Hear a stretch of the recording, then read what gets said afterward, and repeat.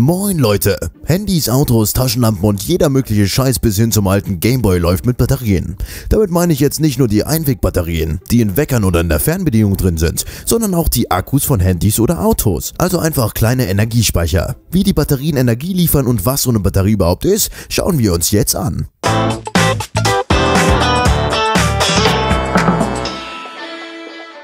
Erst müssen wir mal den Begriff von Batterien richtig unterscheiden. Batterien sind nämlich eigentlich nur Primärzellen, also Energielieferanten, die nicht wieder aufgeladen werden können. Akkus dagegen sind Sekundärelemente und die können wieder aufgeladen werden. Ist auch ziemlich wichtig. Stellt euch mal vor, ihr braucht immer, wenn euer Handy leer ist, eine neue Batterie. Da müsste man sich die Dinger ja am 100er Vorratspack bestellen. Allgemein wandeln aber beide, also Batterien und Akkus, die chemische Energie in elektrische um. Ihr kennt ja vermutlich alle irgendwelche Batteriegrößen, wobei eigentlich die Leistung der einzelnen Batterien und die Kapazität wichtigere Begriffe Begriffe sind. Also mit Leistung ist gemeint, wie viel Energie ich pro Zeit zur Verfügung habe und mit der Kapazität einer Batterie ist die Menge an Energie gemeint, die gespeichert ist. Kommen wir aber nun zur Funktionsweise. Irgendwie muss ja aus den chemischen Stoffen elektrische Energie entstehen. Um das zu raffen, brauchen wir erstmal den Aufbau von einem galvanischen Element, wenn man so will, dem Vorläufer aller Batterien. Dafür nennt man ein unedles Metall wie Zink und ein edles Metall wie Kupfer. Die Metalle werden in je ein Becher Glas mit dem jeweiligen Ion gestellt. Also das Zinkblech steht in Zinksulfatlösung und das Kupferblech in Kupfersulfatlösung. Damit da auch wirklich Strom fließt, brauchen wir einen Leiter. Mhm. Also nicht eine Leiter, sondern oh. einfach ein Kabel von einem zum anderen Blech. Und damit wir sehen, dass es auch wirklich geht, wäre eine Lampe oder sowas noch ganz praktisch.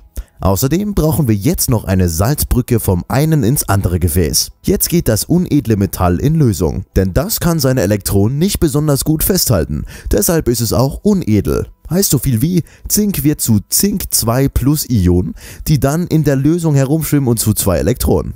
Die wandern jetzt durch den Leiter, bringen die Lampe dazu zu leuchten und sammeln sich am Kupfer. Über das Blech kommen die Elektronen mit den Kupferionen in Berührung. Zusammen reagieren die Stoffe dann zu elementarem Kupfer. Denn Kupfer nimmt alle Elektronen, die es kriegen kann, weil es edel ist und Elektronen daher gut festhalten kann. Welche Metalle wie edel sind und daher wie schnell in Lösung gehen oder auch nicht, kann man übrigens an der elektrochemischen Spannungsreihe ablesen. Das könnte man selber googeln. Also auf der einen Seite löst sich die Zinkelektrode langsam auf, während an der anderen Seite die Kupferelektrode dicker wird. Das geht dann fast so lange, bis die Kupferionen verbraucht sind oder die Zinkelektrode aufgelöst ist. Wichtig ist aber auch die Salzbrücke. Ohne die würden wir ja links ständig mehr positive Ladung haben als rechts. Und irgendwann hätten die Elektronen dann keinen Bock mehr rüber zu gehen, wenn da alles schon so negativ ist. Durch die Salzbrücke kann aber die Ladungstrennung verhindert werden. Und nach dem Prinzip funktionieren die meisten Batterien heute noch. Nur die Salzbrücke wird meist durch eine Membran ersetzt, durch die die Ionen wandern können. Allgemein schon gut zu wissen, woher der Strom kommt, ohne den wir nicht Angry Bird oder Quiz Duell zocken könnten. Was ist eigentlich eure Lieblings-App auf dem Handy? Postet mal in die Comments. Und ich will jetzt keine Schleimer hören mit YouTube, damit ich euch sehen kann. Wobei, doch, genau das will ich hören. Anstatt chemische in elektrische Energie umzuwandeln, kann man die auch in thermische Energie umwandeln. Wozu man das brauchen kann, seht ihr hier. Also bis zum nächsten Mal und ciao.